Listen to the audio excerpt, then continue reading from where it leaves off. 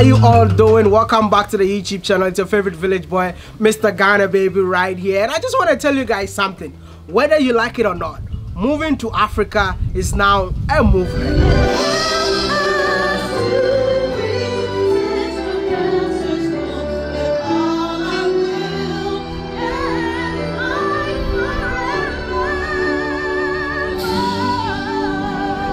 And it's so exciting to see that most of them that move to the continent actually add value to the continent. You all should meet Jerry who moved from America to Ghana to establish an ancestral wall with the aim of educating Africans and Africans in the diaspora. And he's doing all these things out of his own pocket. uh, but it's affordable to come in here. It's free. Oh, like even to today. Oh, it's free. it's free of charge. Can you believe it? You don't think a selfless man like this deserves our financial support? Well, we've calculated that to finish that resource center, because it's two levels, library, everything, is going to be about $40,000. So I think I'm going to use my channel to raise $20,000, uh, wow. which means that we've taken half of your wow. burden off, right? That would kill us. Please, you guys should not disappoint me. Oh. Oh. This year is the year of charity, and whatever he has been doing here, he has been doing it out of charity. And if I'm here, we have to make it possible. The GoFundMe page is going to be in the uh, description box. It has nothing to do with me. The team will credit, all the money will go to into his bank account. And please, when the money comes, let us know. I'm going to come back here and then you tell us that, okay, this is the money that you got, and Wodemaya never took a dollar.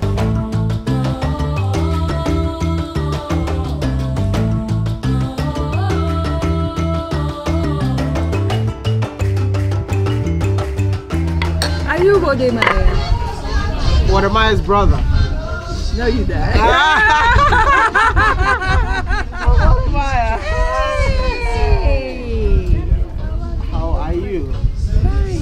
Nice to meet you. Yes, just to see you in person. Oh. I tell you.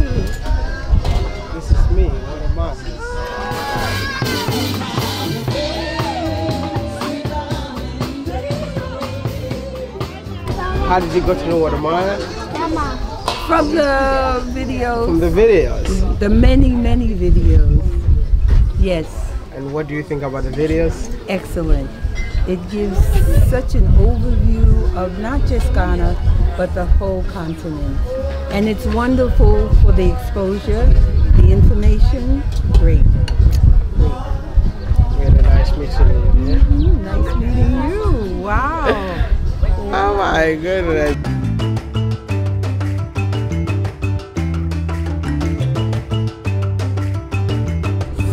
I look at so many other videos. Thank you. And I'm really proud of you. Very proud of you as a young. Very proud of you. Thank you. Good job. Thank you. Really, I appreciate keep you. Up, keep up the work, okay? Thank you. Keep up the work. Thank you. I'll be boxing for the pictures. Okay, no problem. Peace out.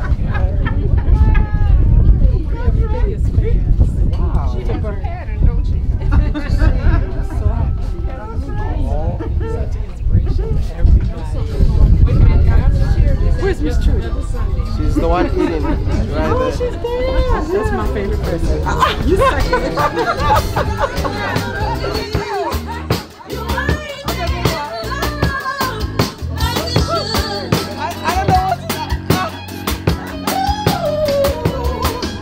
How are you? I'm good. Your mom forced you to come to Ghana with her?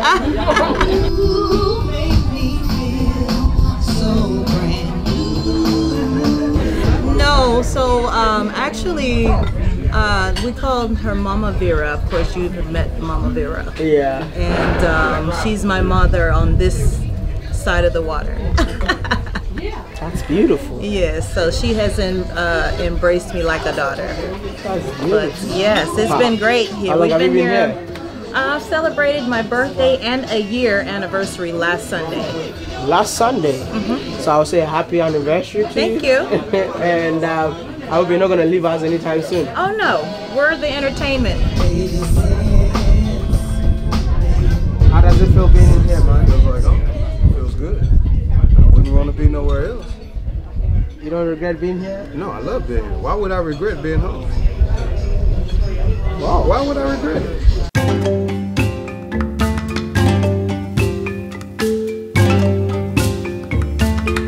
Do you know that I've heard about the ancestral wall for so long and this is my first time of coming in here. Oh, well, welcome. And you know who brought me here?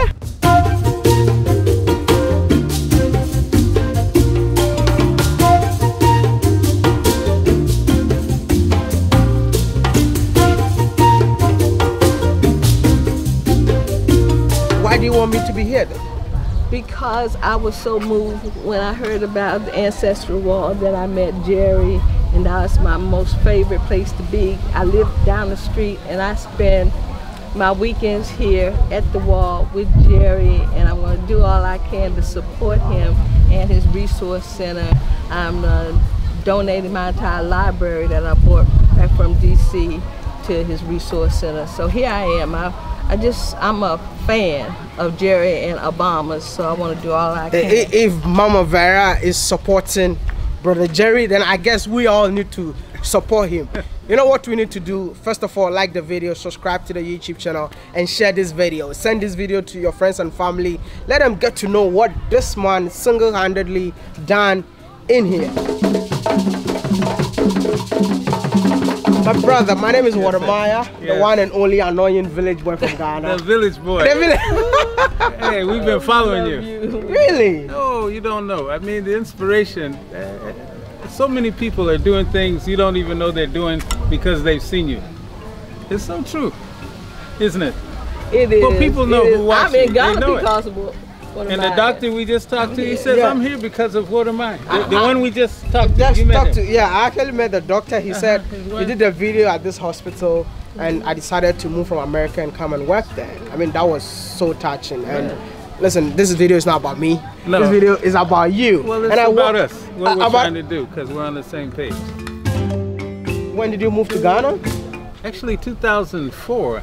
2004. I've been here quite a long time. 2004. Yes, I was. In fact, I was one of the very first people to be in uh, New Ningo, this side of Prampram. Yeah, this was all bush when I came. So, I feel like um, every African American wants to be in Ningo Prampram. if you don't go to, if you're not staying in Cape Coast, you're staying in uh, Ningo Prampram. Why you guys love this place so much? well, I think for some of us, I, I mean, I'm from Los Angeles, you know, and even though I lived in a place called Long Beach, if you're uh, most black folks in Long Beach never see the beach. Yeah. so when we come to a place like this and we can have a nice ocean view and the breeze and feel free, I mean, I don't know how you can resist it. That's that's beautiful. Yeah. Um, so which means you were born and raised in America. Yes. But you know, America is the land of milk and honey to most Africans. Ah. Uh, oh, oh, I, I don't like that reaction. Ah, what does that mean? Is it not true though? No, it's true. I mean, I've been here, I've been coming to Ghana since 1994. So it is true that that is what people see. Uh, but a lot of that is, of course, media, you know. If you go there, it's a, a different reality. I understand why a lot of people go there for financial, you know, for schooling or this kind of thing. But just in terms of being a, a black man and being in a free space, uh, it's very difficult to be that in the U.S. as though as you can be here in Africa anywhere. You know, I've been to most West African countries, and it's the same thing. We have our challenges, but in the end of the day, uh, you're in a black man in a black country, and that means more than almost anything. Well, Vera, you, you you think America is the land of milk and honey? Well, what you heard from me was um, I grew up under segregation. I'm older than he is. The Supreme Court decision in 1954 directly impacted me. So I was the first grader walking to school, and I and white mothers would run out uh, of their yards and stand by the gate or stand in their door and call me a nigger, and I was five years old. And so they didn't see the humanity in me. All they saw was a little enemy. You know, how I threatened them, I never know. But what, what I once I became an adult, I thought these women acted like that was their civic duty to call me a nigger. I'm five years old, you know, So after they did all of that, they went about their day. They probably fixed somebody lunch and vacuumed their, their carpet and watched TV. And every day I walked past their house and they wanted to make sure they terrorized me every, every day, only for me to go to school and be the only little black girl in my classroom and have the teacher not to call on me. And oh. I'm hope I'm raising my hand and asking Miss Ahern, I remember her name, her name was Mary Ahern, asking her to call on me because I knew the answers because both of my parents were school teachers and and and seven of my aunts and uncles, so I was pretty well versed in the first grade. She hasn't called on me yet, Woman Maya.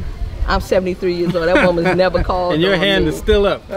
never called on me, but she, this is how this is what she how she traumatized me.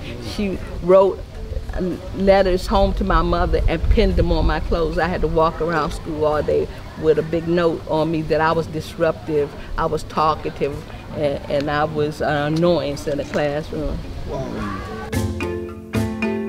We are here at the African Ancestral Wall, and uh, I just want to ask you came to Ghana just to design this?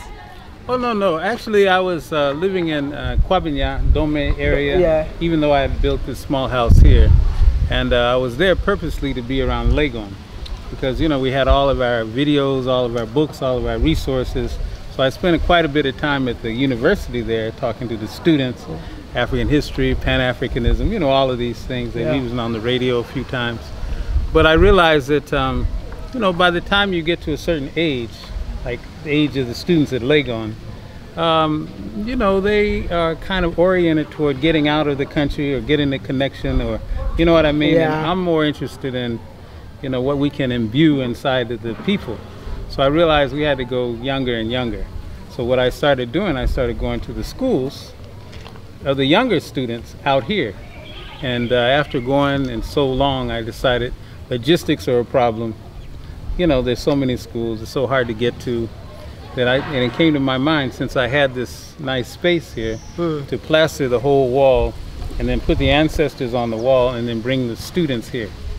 So for instance, last week I had a group of 75, uh, I had a group of 30 something students, you know, that had come, headmasters bring. So that's easier and better because the teachers are motivated when they bring them here. And then the children, even the last group, even though they were three, four, five, six, seven, they still get something out of seeing these Africans on the wall because if nothing else, they know they are important. Who fits to be on the wall? Well, who fits to be on the wall? It, well, really, it depends on what I'm trying to tell the students. So I'm looking for attributes of different Africans, some which are well known, some which are very uh, almost unknown, only because there's certain things I would like to tell the students.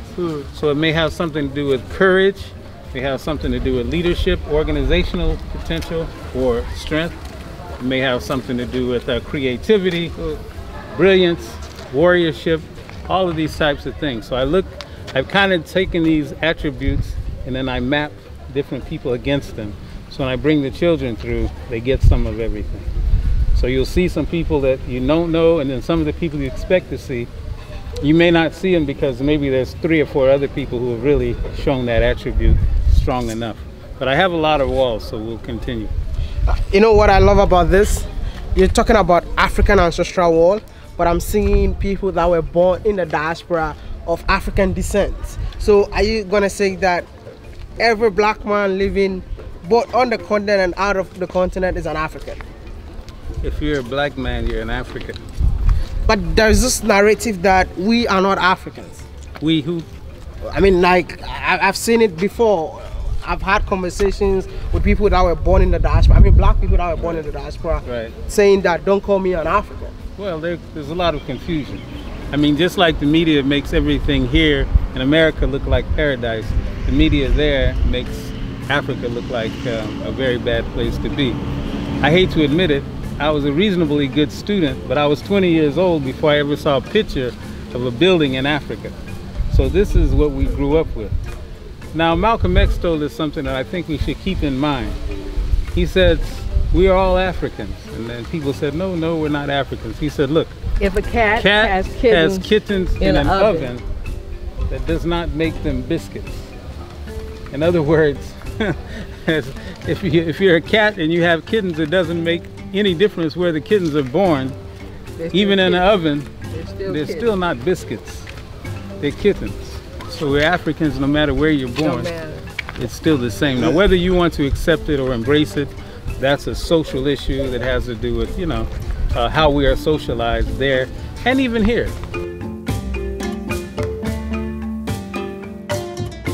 What are some of the things that you heard about Africa before coming?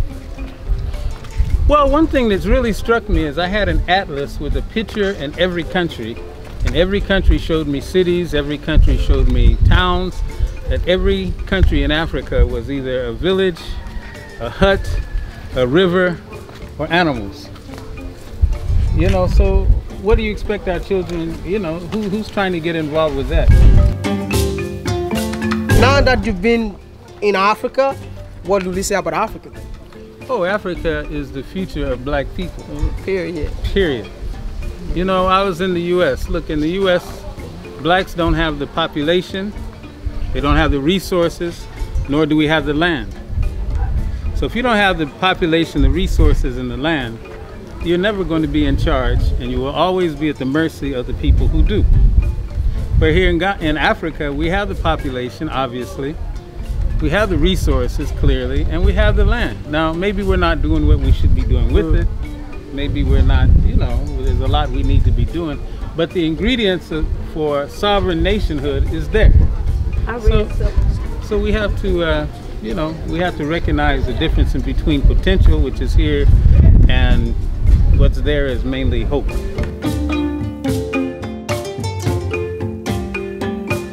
How long has this ancestral wall been in existence? Well, we started this one in 2017. Yeah. 20, even though I've been here a long time, that's why I said I was trying different techniques until it came to me, uh, what, five or six years ago, that this could actually be a good teaching aid for the youngsters. I never had tourism in mind, to be honest with you. It never even crossed my mind. It was just, But- can I get a tool? Because it's free for the children. Of course, it's free for the tourists. And, um, you know, what, what could be effective?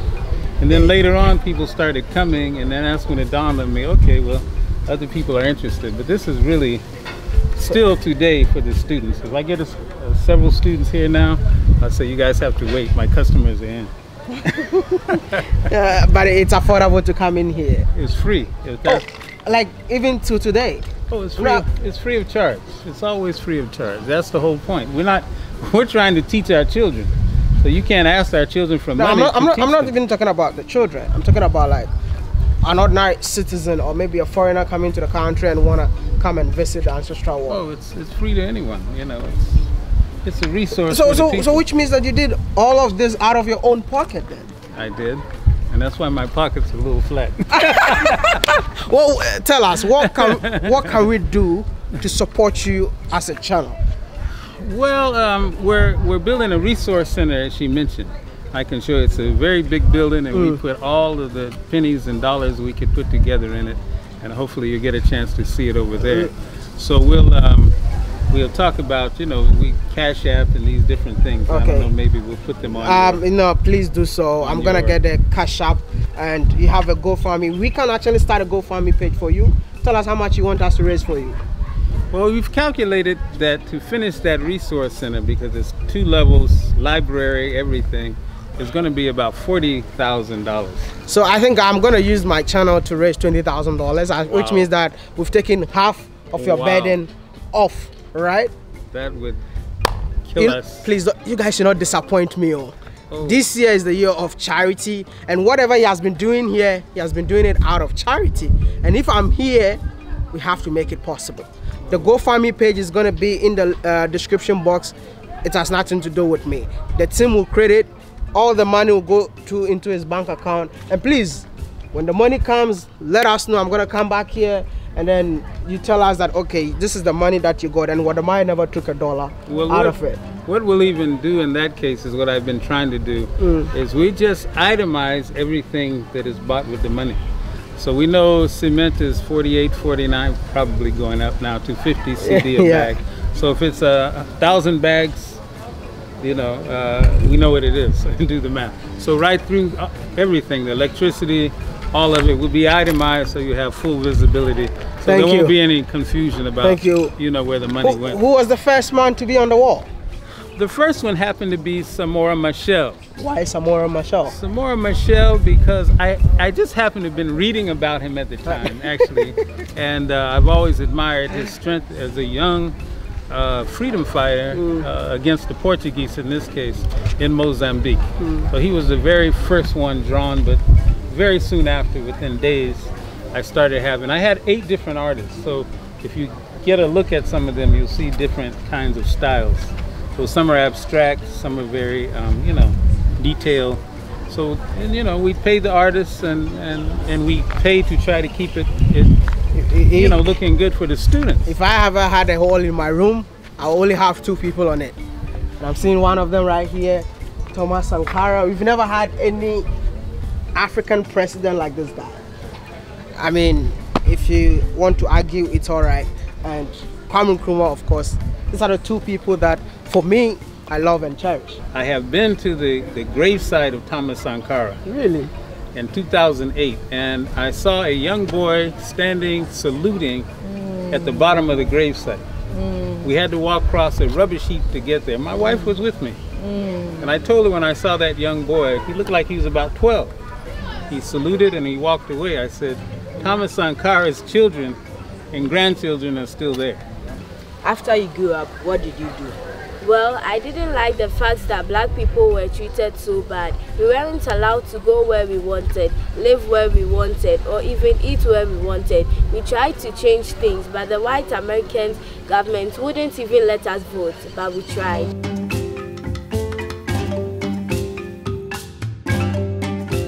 You know, I, I checked through the wall and I never saw these two people. Uh-huh. And apparently, they are actually the gateway to the main wall. Why Marcus and Kwame Nkrumah are in here? Hey, that- that's, uh, well, to me, Marcus Garvey kind of embodies what we've been talking about. And the more I read of Garvey, the more I, I realized he was where my heart was, you know. Garvey basically was saying that until we build something of power and consequence on the African continent, we're just going to be struggling everywhere around the black world. And I think the longer I live, the more I think that is right. So I think we really have to f- focus on that. Plus, Mar- Marcus Garvey had the largest black organization that the world has known with the UNIA, Universal Negro Improvement Association. So a lot of people don't realize that. But I think reading philosophies and opinions of Marcus Garvey will clear up a lot for a lot of well-meaning uh, African people. Dr. Kwame Nkrumah. Now we know uh, that children usually know who Nkrumah is, of course, being here in Ghana, so I don't have to go too far into the explanations. However, for some of the teachers and all, I also like for them to read this quote, which has to do with uh, uh, Kwame Nkrumah reading and knowing all of these big brain Europeans, but the one who really fired his enthusiasm uh, was Marcus Garvey. So Marcus Garvey had the Black Star line, and so a lot of times when you see the Black Star, even a football team, you know, some of these ideas came, you know, from Garvey. And certainly a lot of the Pan-African uh, leanings that Nkrumah absorbed also came from Garvey. So it helps in a way because most of the people have never heard of Marcus Garvey. Garvey. But this gives them some context because they say, well, if our man Kwame Nkrumah, who we all know, uh, looked up to the man, and you know, we're watching the Black Stars football team, Yeah. not knowing that that Black Star, we were even driving the Kantanka, I was looking at that. And the Black Star. Yeah. Well, actually, it's silver, but Silver.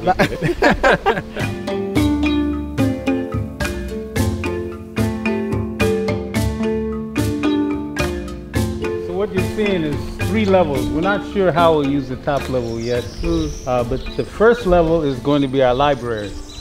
So we have a lot of pledges for books and things that we're going to do. So unfortunately, it will have to be a resource library where you can't really take the books out because there's no addresses to track them. Hmm. But the idea is for the students to be able to come in, digitize everything we can, we'll download it on a PDF file, they can take it away. If they don't have that, then they can print it there hmm. for just a few pesos. Then they can take it, start building their own books page by page. So that's what we'll be doing here with the students. Uh, we tried to get something started, but we really needed the space to do it efficiently. The second level is, is what we're calling our multi-purpose resource area. And that area is for, for instance, I've had more than 100 and something children through this past week. Mm. Now, I would wow. love to bring, bring them, but that was during the week. But I would love to bring them on Saturday morning, and then we take someone on the wall, and then we uh, go into detail for maybe two or three hours Saturday morning with the students who we can bring. We've been working on this building for at least four years, Whoa. three or four years, yeah. Well, will I say that done. what you're trying to do is more of um, changing the education system in Ghana?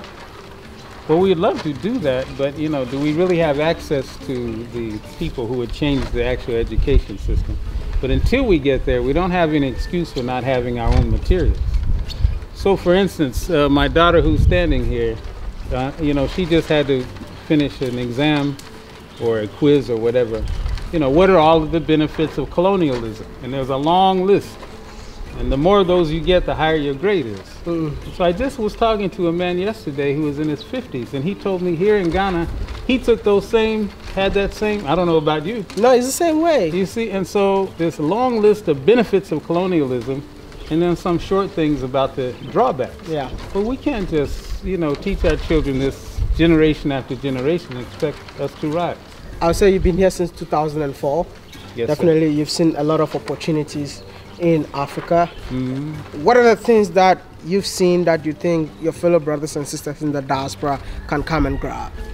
Well, this is a very important point for me because I feel that you have to have some kind of mission in mind to come in in Africa. Mm.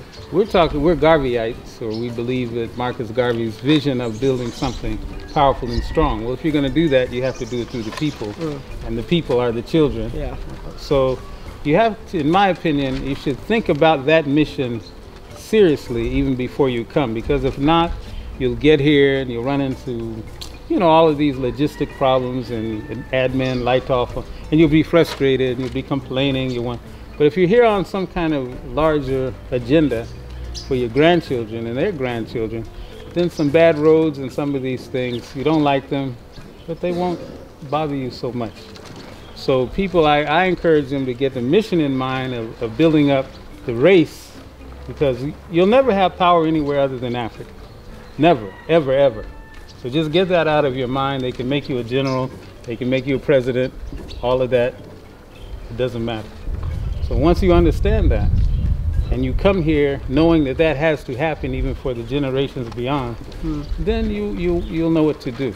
How can people reach out to you if they want to come to Prampram to come check out this ancestral wars?